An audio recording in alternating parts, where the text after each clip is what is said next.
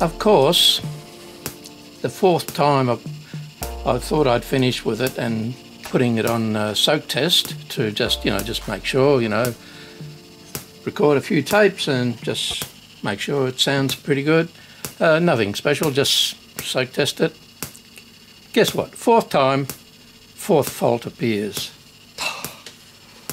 This is uh, sending me around the twist, this Pioneer. Anyway, I think I might have found why. First off, I thought it was uh, uh, static causing what you're hearing now. Okay. Um, this is quite severe. Before it was just every once in a while and, and, and it only happens when you're in play mode.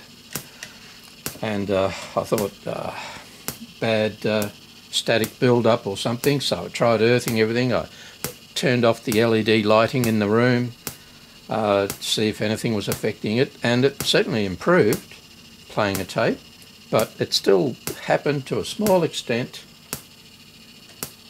Don't know if you can see there but it's just going crazy.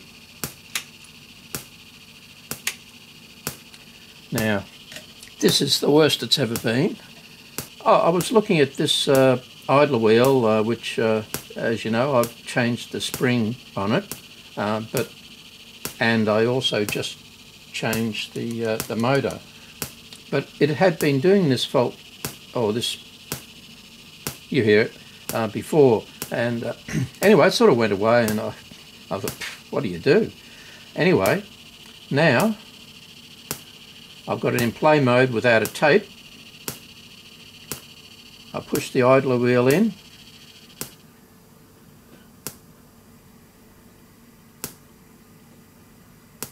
it's still happening but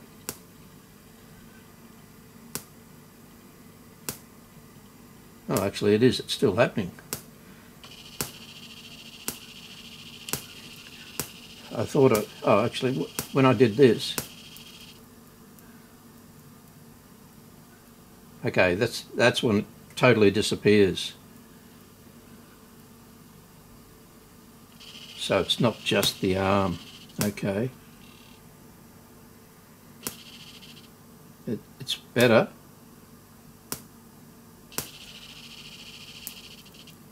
So it's so it's almost as if that as well as the noise it's making so that's what got me onto this in the first place but also that spindle. If you ground it with my finger no problem so I have to try and figure out what has gone wrong with uh, earthing here. Just putting my finger near it, I can hear the I can hear some crackling in the uh, audio.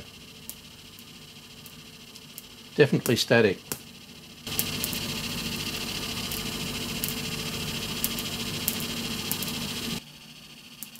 So that means that isn't properly grounded. So, bloody hell. So, what does that mean? Do I have to pull the whole thing apart again?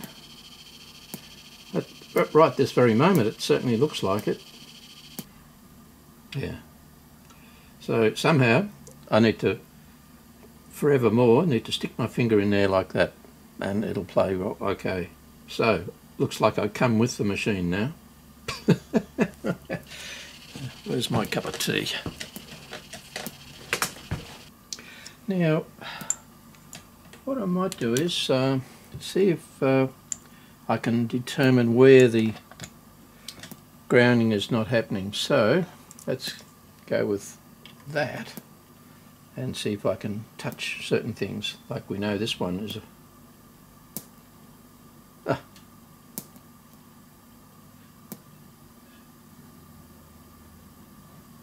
Yeah, get a big zap when I do that. So it's definitely building up there. Now what about the arm for it? There's the back arm. Yeah, that's still the same. Now the front arm. Yeah, that's still the same. So, now this, oh, this raise, ah, there we go. Oh, I knew that's that what it that's what it did, but it's that little spring. It's come loose. Oh, I should have looked at that earlier. I knew that's what it was for, but I, I just yeah, that's it. Oh God. Oh.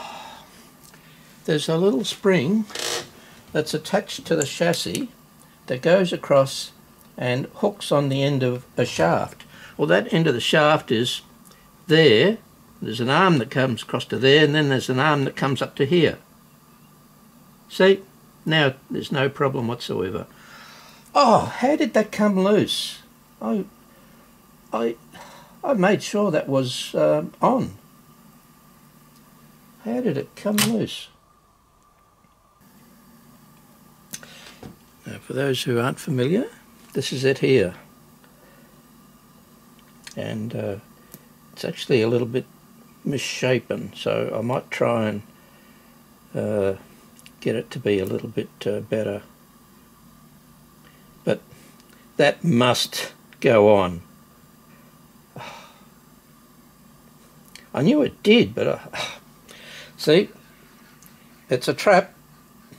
You just never know. That's why it's there. Little tiny spring that goes onto a little shaft here that goes in and out. And it, they do this because the shaft does go in and out and uh, there's no ability to have a direct connection. So this is why they do this. Ah. God. Well, I was on the right track, but I just failed to remember that.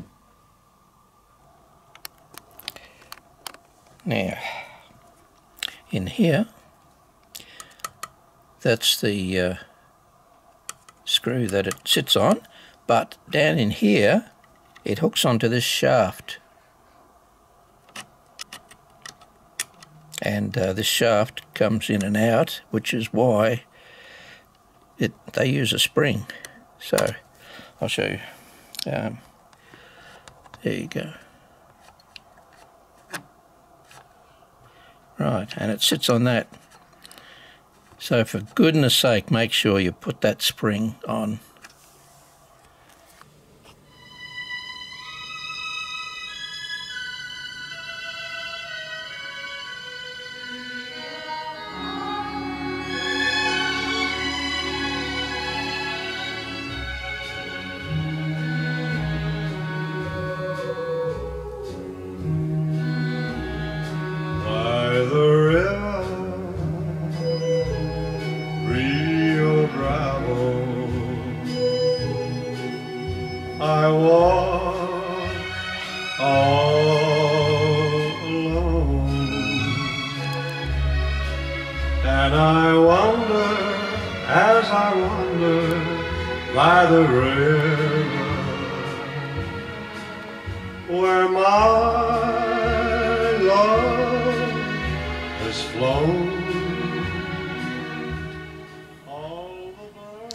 You're listening to uh, a bit of recording on the Pioneer, uh, recording a, a Dino tape for myself, and it's sounding pretty good.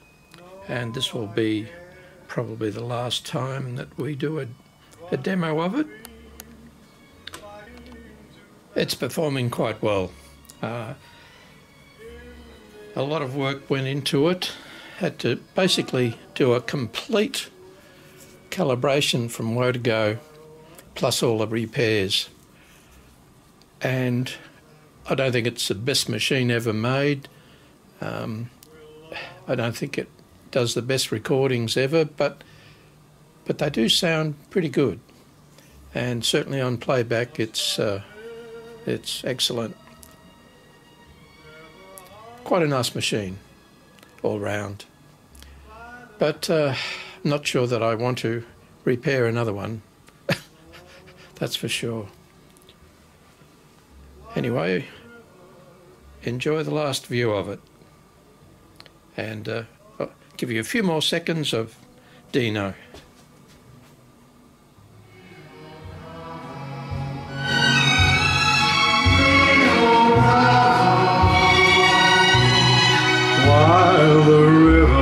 You're listening to the tape monitoring, not the source, by the way.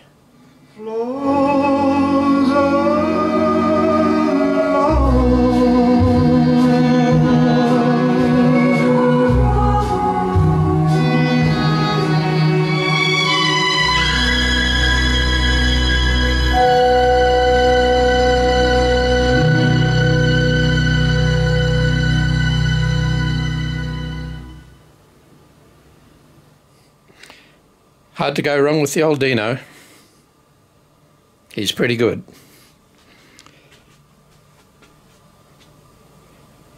All right, that's about wraps it up. Uh, hope you enjoyed the series on the Pioneer CTF 950. I probably know as much about the damn thing now as anybody. It's uh, it's a well, it's a strange beast nothing is really straightforward in it in regard to setting up biases and uh, and levels. It does things that I wouldn't have expected, and I have read whereby it wasn't initially meant for metal tapes, and that they uh, kludged all of the biasing circuit to cope. But I'm not 100% sure uh, because some of the things they say set for metal and then the other two uh, you adjust separately, uh, type 1 and type 2, that is. You don't actually set them separately, all three different types. It's a weird, strange uh, thing. It's not like the Nakamichis where you set a certain uh, level of bias, etc., and then you have adjustments for uh, each of the three different types. Um, uh, mind you, that's not always the case, but so there's some kludges I feel that were made with this, uh, but it does the job, and and I have to admit it does in the main record and play back very nicely. So that's about it. Hope you enjoyed the series. Right. Good night.